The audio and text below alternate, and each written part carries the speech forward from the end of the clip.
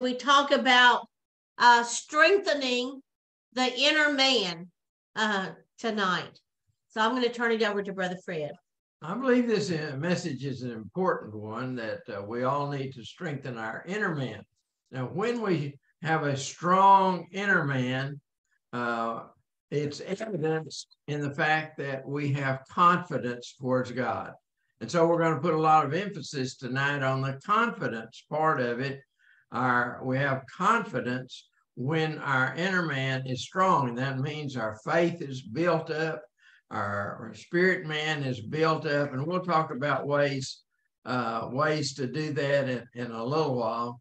But but I want to say that it's important for our inner man, our spirit man, uh, to be strengthened with the power of the Holy Spirit. Amen. And uh, when we have confidence towards God that He answers our prayers, that He is with uh, us, that has favor towards us, mm. do you have confidence that when you offer a prayer, it's going to be answered?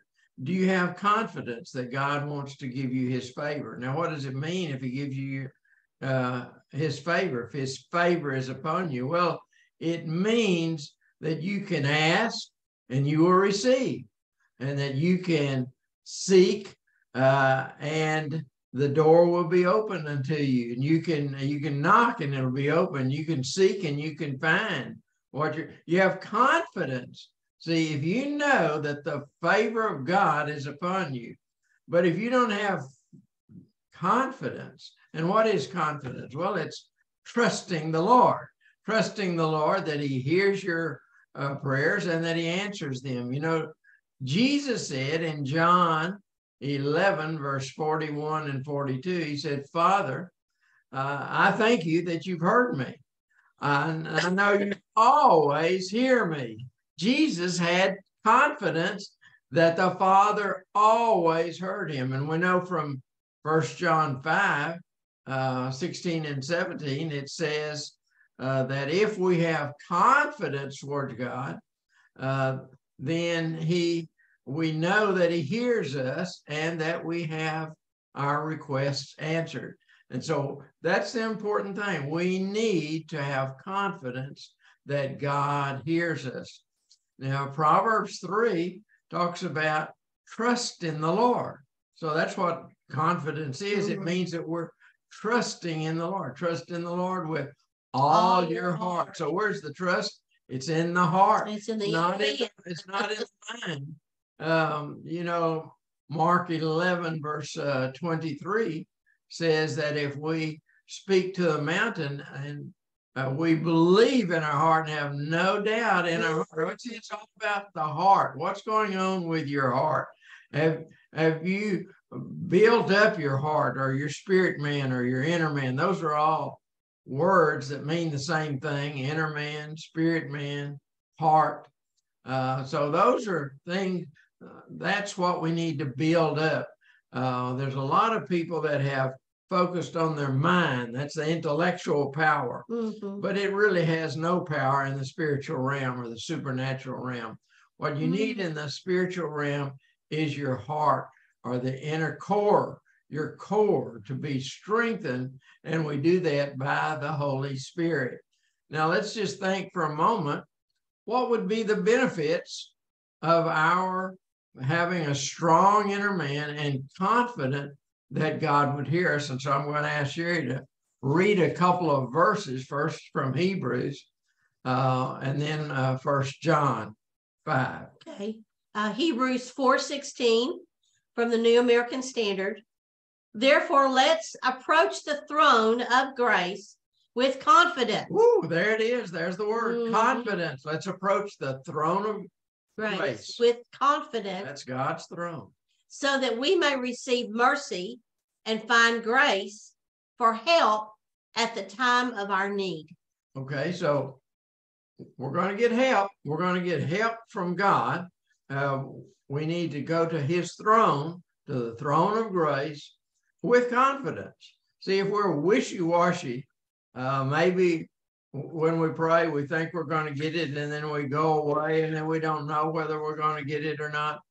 that's being wishy-washy. It's being unstable. Right. And what we need to be is stable and sure, uh, because that's what confidence is. It trusts that we have favor with God and that He answers our prayers. So Hallelujah. here, the first benefit of having confidence is that we can go to His throne Yes. and receive grace and mercy. Now, mercy, we need mercy when we fail, when we have a, a failure, when we when we haven't done what we uh, needed to do, then we need mercy, and, and He gives us mercy. So if we have confidence, even though we've made a mistake, I may have sinned, even though we've we've done these things, uh, we still have confidence that we can go to the to God and to His throne and receive mercy for our failures and grace to help us. That's His power of the Holy Spirit to help us when we're in need. Amen. Oh, so we need confidence. Uh, uh, so many people are unstable about it. They they may They Right. waver. They waver. they may pray and ask God for something, but they don't know where whether they're going to receive it. And so the question I have for you tonight: Do you have confidence? Are you sure that God hears your voice and answers your prayers? Oh, that's Yeah. really important. I think Sherry has something. Well, I do. It's coming up strong in me right now that confidence is also being fully persuaded that God is able uh, to do uh, everything that we we need or ask or desire. Uh, that He's able to fulfill promises, and you know it says that Abraham uh, did not waver, he did not stagger, and he had confidence toward the Lord and he was fully persuaded that God was able uh, to do what he said he was going to do. Well, that's a that's another way of looking at it. Con- being Yeah. confident is being fully persuaded that you know certainly that God hears your prayers and answers them. Amen. You know Jesus, that's the way he operated, and he his prayers were always heard and always answered. Now I want to let Sherry read from First John 5. First John 5, verses 14 and 15. This is the confidence which we have before him, that if we ask anything according to his will, he hears us. Verse 15. And if we know that he hears us in whatever we ask, we know that we have the request which we have asked him for. So Hallelujah. If you have confidence that his favor is upon you, his face is shining upon you, then you can ask whatever his will is. You can ask things Hallelujah. to his will, and you will know that he hears you and answers your prayers. So this is a uh, this is a time tonight we need to search ourselves Yes. and uh, and see are we confident when we ask, ask God for something? Are we confident that He will answer it and uh, give us what we ask for? You know, there's a lot of people that are not confident that their prayers will be answered, and so right. consequently, they start asking other people to pray for them. Right. Uh, you can't imagine how many uh, prayer requests Sherry gets every day that she Yeah. a- the people ask her uh, from all over the world ask her to pray for certain things uh, because they have confidence in her prayers. They they have seen that her prayers are answered, uh, and they may not have that confidence in their own prayers. But really, we need to get to the point where we have confidence in our own prayers. Uh, there were uh, several men that called Sherry and I this afternoon and asked for prayer for another man. Uh, that Mhm. evidently they knew that we believe in prayer, that we we believe in the in faith, and we trust in God. We believe in healing. and we believe that God heals. And so we believe in healing and we believe that God answers our prayers. We have confidence. And, so here you've got uh, uh, several men hundreds of miles away, and they called this afternoon and ask prayer uh, for another man. And, and that's wonderful. And we're ready Mhm. uh, to pray for them. But but we all need to increase in our confidence, our own confidence that God has favor towards us. He hears our prayer and he answers our prayer. It it would just be terrible to think that uh, he's not listening to you uh, or to me. It would just be a terrible uh, situation and, and think that our prayers might not get answered. Well, that's not the way Sherry and I approach things. We believe that our prayers will be answered. Now, uh, that last passage that Sherry read from First John, it talks about when we pray according to His will. So Sherry and I have to seek His will about what to pray for. A lot of times, people ask us uh, to pray for their situation, for their loved ones, but we have to go to the Lord and ask you know what's his will? How do we how do we uh, uh, phrase the the prayer? What how does he want us to pray? So it's important for us to pray according to his will according to the guidance of the holy spirit. The guidance of the holy spirit will show us how to pray. A lot of times uh, people call about prayers and we don't pray exactly the way they want us to what, what's important to us is that we hear from the Lord and we pray the way He wants us to pray. And that's important for all of us because that uh, passage that Sherry read from First John 5 Mhm. says uh, we have confidence when we pray according to His will. Oh, hallelujah. So you've Mhm. got to know the Word of God and you've got to know what His will is, and then you pray according to, to what his, His will. what his will is, then when you have confidence. See, there's a lot of people that just do all kinds of prayers this way and that way. And uh, if that doesn't work, then they go that way and they try lots of different things. But that's not finding out his will. And that's where you get confidence when you spend time praying first about what his will is for a situation. You know what his will is, and then you can pray uh, accordingly. And those are the prayers that will be answered. And just like Jesus said, he always hears his prayer. We've got to, uh, every one of us needs to get to that point that we know that the Father always hears our prayers. Amen. Always. Amen. Then when he hears our prayer, we know that he answers them. That's what that passage says.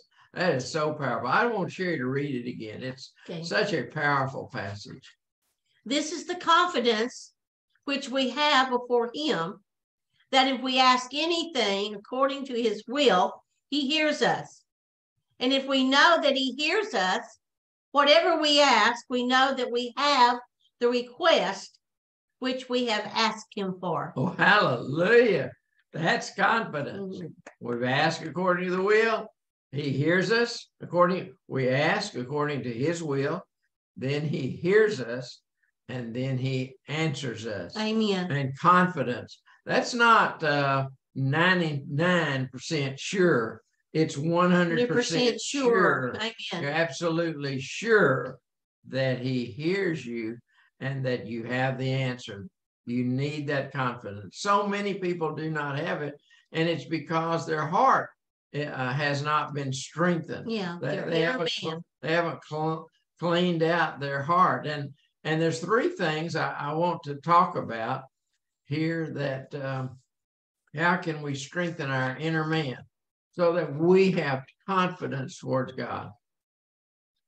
Well, Ephesians uh, 3 16, I Mhm. believe, uh, says that we can pray that our inner man will be strengthened. So you have to have a strong inner man. So I'm going to ask Sherry to read this prayer that Paul prayed for the Ephesians. Mhm.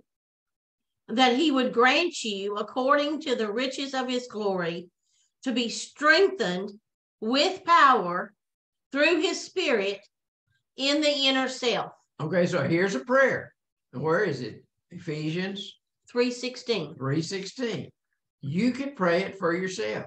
Don't just pray it one day. Mhm. See, I prayed this uh, for month after month. Every day I prayed it. Uh, and, and so I memorized uh, this prayer. It's much longer than this, but this is just one verse out of it. Uh, and I, I memorized the whole uh, passage, the whole prayer, so that I could pray it at any time. I could just be walking down the street, I could be sitting somewhere. Uh, I could pray it, so I didn't even have to have my Bible open because I knew what it what it said, and I still know what it says. Amen. I prayed it over myself, and it changed my life. And so we need to pray this prayer. This is a prayer that you can pray over yourself. You need your spirit man strong. When your spirit man is strong, you will have confidence towards God that he hears your prayers and that he answers, Answers your prayers. your prayers. So there's three ways we're going to talk about how can we strengthen our inner man. The first way is we can pray. And if there's nobody else praying for you, for your inner man to be strengthened, let's pray for ourselves. Right. You can pray for yourself. I pray for myself. Yes. We can pray for each, each other. other. I'll just ask Sherry to pray for us. Yeah. uh, this particular verse, uh, that that we be strengthened in our inner man. Father, I lift up everyone that is on this video. Lord, I pray over them and I speak over them. Ephesians uh, 3.16, that you would grant unto them according to the riches of your glory to be strengthened with power through your spirit in their inner man. Hallelujah. In the name of Jesus. Hallelujah. I receive that. Hallelujah. Hallelujah. I That's a, receive that. that's a prayer that can be prayed. Sherry prayed it. I've prayed it for you over time, but you can pray it yourself. Pray it over and over again every day. Pray this prayer Right. over yourself that you be strengthened on the inner man in the inner man, and that will give you confidence. Know, hallelujah. God hears your prayers and Thank you. answers them. Amen. Now, another thing that we've been talking about this uh, last few weeks has been the fruit of the Spirit. It's really important uh, for us to grow in the fruit of the Spirit or develop the fruit of the Spirit because that's the very nature of God. Well, there are three fruit, and it's the fruit of the kingdom. And Hallelujah. these help strengthen our inner man Mm, the fruit of the kingdom. And these are righteousness, peace, and joy. I'm going to ask Sherry to read this verse from Romans 14 17. For the kingdom of God is not eating and drinking, but righteousness, peace, and joy in the Holy Spirit. Hallelujah. Okay. All three of these fruit are very important, and they are fruit the fruit of righteousness, the fruit of peace, and the fruit of joy. And they're all important in strengthening our inner man. We have we have to have fruit. We have to have food for the inner man. But the Yeah, yeah. the food of the inner man is spiritual So food. food. It's not natural. See, my brain needs natural food. My stomach needs natural. My, Our bodies, our natural bodies bodies. need natural food, but our spirit man needs spiritual food. And here are three fruit that we can partake of and develop in these three areas. That's righteousness, peace, and, And joy. joy. Righteousness is being in right standing with God. Now, see, if we sin, if we sin, uh, then that takes us away from right standing with God. And so we don't know whether He's going to answer our prayer or not. But if we are in right standing with God, then He answers our prayers. And we know He answers our prayer. Now, where does right standing with God come from? Well, it comes definitely through the blood of Jesus Amen. and the work, the his finished work on the cross. That's what Second Corinthians 5 uh, 21 talks about. He it says Jesus, who knew no sin, was made to be sin uh, for us so that we might be made the righteousness, Righteousness of, of God God. in Christ Jesus. So it's all about him. That's where we get our righteousness from. But what if we sin? And we all sin. Uh, so what happens if we sin? Well, First John uh, 1 9, I'm going to ask Sherry to read this. This helps clarify to me that we can get back into right standing and shows you how to do it. if we confess our sins, he is faithful and righteous so that he will forgive us our sins and cleanse us from all unrighteousness. Okay. Amen. So God is faithful. He's righteous. And if we sin and we confess our sins, then he's going to forgive us. Our sins will be forgiven. And that's wonderful, wonderful, wonderful. But not only is our sin forgiven, he also cleanses us from all unrighteousness. That's right. And so if we were in right standing, then we sin uh, and we fall and we're no longer in right standing. All we have to do is to confess our sins and he forgives our sins and cleanses us from all unrighteousness. And so that moves us back and we become righteous or the righteousness of God. And then we can Christ partake of the fruit of righteousness. Hallelujah. Then we Then we can eat of the fruit of righteousness. then we're in right standing, so we can approach, Hallelujah. we can approach God. There's nobody in better standing with God than you when you are in right standing. Yes. And, and, and you cannot grow in righteousness. Uh, you are either in right standing yeah. with God or you're not. And so if you ever get into the uh, area where you're not in right standing, confess your sins. He will forgive them and cleanse you from all unrighteousness. And you'll be back over there. Hallelujah. And that's the best place you could be in right standing with God. And he will hear your prayers and answer your prayers. Hallelujah. So righteousness is the first fruit of the spirit of the kingdom there uh, from Romans 14, 7. The second, the second one, Romans 14, 17. The second one is peace. Mm. Now, peace is a uh, uh, is a spiritual uh, fruit, Yeah. and it's very powerful. Uh, Colossians three says that it uh, uh, that it rules our heart. We Yeah. need something to rule our heart. You, you know, without something ruling it, and that thing is peace. Yeah. Glory to God. Our heart will be all over the place. It'll be over there, and it'll be over there. Be, Amen. unstable and, and wavering. But when peace comes, the supernatural peace Mhm. of God, then that will rule your heart. So I'm going to ask Sherry to read, read this from Philippians. Philippians 4 7. And the peace of God, which surpasses all comprehension, will guard your hearts and your minds in Christ Jesus. Hallelujah. That's the peace of God. Oh, hallelujah. Hallelujah. And Jesus said, My peace I give, Give you. you. So the peace that you have is not what the world gives. It's the peace that Christ uh, gives to you. And it will rule your heart. It will guard up your heart, guard your heart, and guard your mind so that you will be focused and single minded. And when you ask, you know that God hears your prayer and answers your prayer. Amen. So this this message today is about strengthening the inner man. Amen. Do it with the fruit of the kingdom. Hallelujah. Righteousness, peace, Peace. and then there's joy. And I'm going to ask Sherry to read this from Nehemiah 8:10. And I'm reading from the Amplified Bible.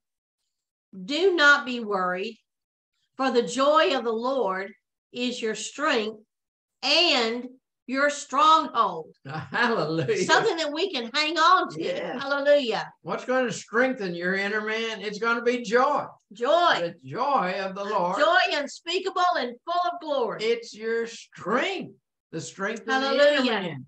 Oh, you, you think about your muscles and lifting weights and all. Yes. Uh, that's a natural strength. Mm. Uh, but there is a, an inner strength, and the strength of the Lord, the joy of the Lord is, is your strength. Hallelujah. So that's the reason Paul said, rejoice. And again, I say, rejoice. Rejoice. Do have you been rejoicing? Because if you have joy in your heart, you will rejoice on the outside. Hallelujah. So, so you might say, "Oh, I've got joy on the inside, but I've got a frown on my face." Well, it, it, if it's not Whatever on the inside is going to be manifested on your face. it's it's going to show up on the outside. So Amen. so if you have uh, uh if you're uh unhappy and you're you don't have any joy, it's going to show up on your face. It's going to show up in your words. But if you've got the joy of the Lord in your heart, you can rejoice. And Paul said, rejoice. And again, I say rejoice. So rejoicing must be pretty important because he repeated it over and over. You you look there at Philippians 4 and you'll say, see that he said rejoice uh, several times. Amen. Amen. something. Yes, I, I just want to uh, to bring forth uh, uh, some information about or uh, truth about Nehemiah. Nehemiah was was a worker for the Lord, and he was rebuilding the gates of the temple, and he was diligent about that. But he was persecuted, and he was laughed at. He was mocked, and there were uh, two, especially Sanballat and Tobiah, that wanted to take his joy. But in Nehemiah 8:10, he says, "The joy of the Lord is my strength." Hallelujah. And so he kept his joy, even though he was uh, being uh, harassed and hindered on, on every side, he still kept that joy in his inner man. Hallelujah. Okay, so what we're talking about in this message is strengthen the inner man. But how do we know that we have a strong inner man? Is there certain things that are going to show up on the outside? Mhm.